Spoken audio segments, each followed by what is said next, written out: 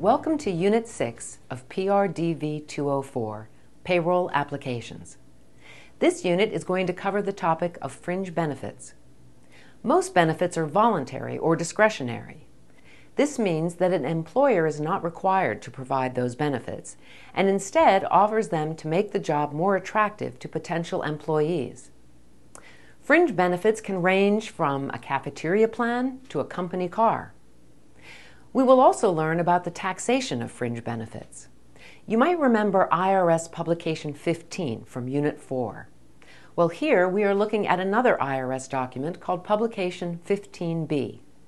This document outlines the various rules and regulations for taxing those benefits. Take great notes and have fun. I will see you at the beginning of Unit 7.